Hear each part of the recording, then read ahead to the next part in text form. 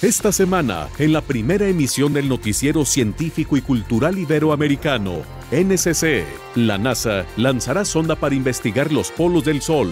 Baja California se da a la tarea de preservar su especie emblemática, el borrego cimarrón.